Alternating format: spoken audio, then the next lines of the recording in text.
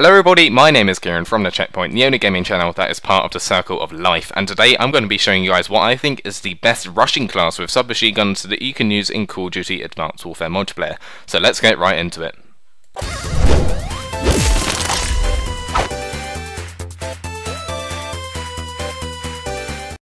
So my weapon of choice for this is the KF5 submachine gun. Now the reason I, I like the KF5 for this rushing class is because because it's got a high fire rate, and obviously when you're rushing around, having a gun of a high fire rate will make people die more quickly, so that's definitely useful. Now since this is rushing class, I've decided to use a laser sight as one of my attachments for the KF5. The laser sight will obviously tighten your hip spread, making your hip fire more accurate. Now this means that you can kill people at a short to medium range more quickly, so that means you can move on and progress through the map and progress through the game more quickly. There may be other gunfights, maybe more people trying to kill you at the same time as you're in a gunfight, so if you get that first gunfight over with as quickly as possible, uh, then you can kind of jump out of the way and boost, dash, slide everywhere, and engage in your second gunfight that you could potentially win more easily.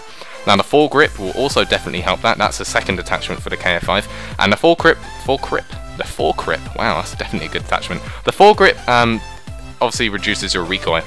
Now, that will help you at a medium range. Uh, you probably don't want to use this gun at a long range, it definitely won't work out for you.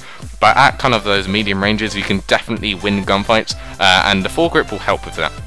Obviously, less recoil means that you can uh, more easily win that gunfight and then move on to whatever next thing you want to go in the game more quickly. Now, I haven't chosen a secondary for this um, uh, for this class setup, and the reason being is because I value perks more than a secondary weapon. Now, as you can see, I have put an Exo launcher grenade. You can swap that grenade out for a secondary if you want to. It's personal preference. This class setup is purely just kind of like a, an exemplar kind of example of um, what a rushing class could look like, and one of the things that has worked really well for me. So as you can see, I've chosen five perks using the perk one, uh, sorry, perk three and perk two uh, greed wildcard. So obviously I've spent two two points on my wildcards there. So for perk one, I've chosen lightweight. And obviously, since this is a rushing class, you're kind of rushing around in the enemy spawn, or not necessarily enemy spawn, you're kind of running around the map uh, trying to kill enemies at a close range. So obviously, lightweight will help a lot with that. You're running faster, so A, you can get to places more quickly, you can get to cover more quickly, uh, you can get to the enemy spawn more quickly, and B, uh, you're also more nimble. Uh, you can kind of dodge people and kind of dash about everywhere uh, very quickly, so it's kind of harder for enemies to kill you. Obviously, lightweight doesn't uh, make your speed that more increased, but uh, it's still definitely a massive boost, especially in a rushing class. So lightweight is probably an absolute must if you want to use a submachine gun in this game, because, like I said, it makes you more nimble. Now, I've chosen two perks for the perk 2 category, and I've chosen peripherals and gung ho. So let's talk about peripherals. Uh, that basically increases your minimap coverage. Now, the reason why I really like this is because obviously you have a larger minimap within the game. If you have a larger minimap, you can kind of detect more enemies within the vicinity, and you can be more prepared and more ready for those gunfights so people don't take you by surprise. I also like Gung Ho because it enables you to uh, what's it called? Enables you to fire while sprinting and uh, sliding. And that's definitely a massive thing, especially when you're rushing. When you're rushing around, you're more likely to be sliding and sprinting, uh, kind of sprinting around the map, sliding into cover. So if someone does take you by surprise, the ability to kind of shoot them down whilst you're sprinting and sliding is definitely a very valuable asset to have within your rushing class, and it will help you win those gunfights uh, and hopefully win those gunfights more easily. Now, I've also chosen two perk 3s, which are Blast Suppressor and Toughness. Toughness, obviously, for a reduced flinch to help you win those gunfights, especially at a medium range uh, when you're not hip firing, when you have to ADS. Uh, it will help you kind of uh, win those mid-range gunfights more easily, and it will definitely help towards that. And Blast Suppressor, obviously when you're rushing, you're going to be sliding, you're going to be boost jumping, you're going to be dashing, you're going to be dodging, you're going to be slamming, and uh, having the Blast Suppressor will just hide those movements from the enemy minimap. If you don't know, uh, if you don't have the Blast Suppressor perk, every single one of your EXO movements uh, will show up on the enemy minimap as kind of like a little red circle. So having the Blast Suppressor perk will completely remove that from the enemy uh, minimap, so they have no idea that you're jumping and dashing and sliding and boosting and slamming uh, all over the place, and they'll have no idea about that. So that's definitely kind of a must. As I said, uh, if you didn't see my best assault rifle class setup video, um, I think Bla Blast Suppressor is definitely the best perk in the game for that reason. Now I've chosen an exo ability for Cloak, and the reason why I like Cloak, it kind of goes hand in hand with Lightweight. You're kind of this nimble uh, soldier is kind of running about in the enemy spawn and dashing about all over the place. And uh, if you have Cloak, people may not see you. Obviously Cloak doesn't make you completely invisible, but it does make you harder to see.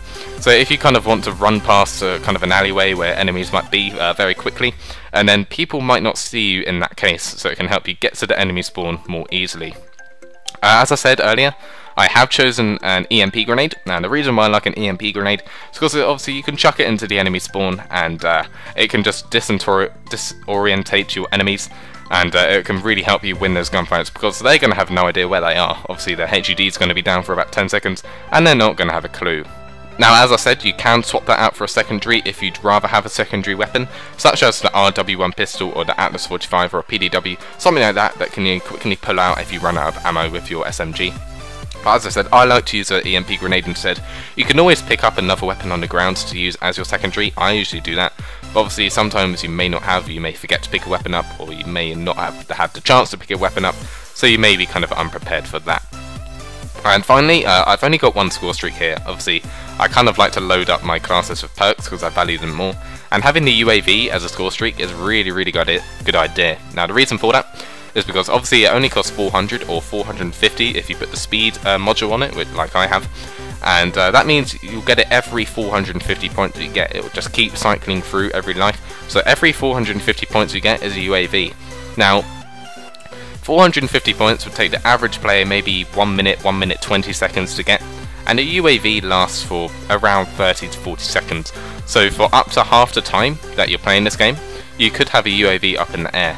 Now, if you include any teammates that may get UAVs, any uh, people you're playing with, they may get UAVs as well. You can nearly have a constant UAV. If you just have people on your team always just running UAVs, you can pretty much have a constant UAV on your team, which would definitely be a massive help.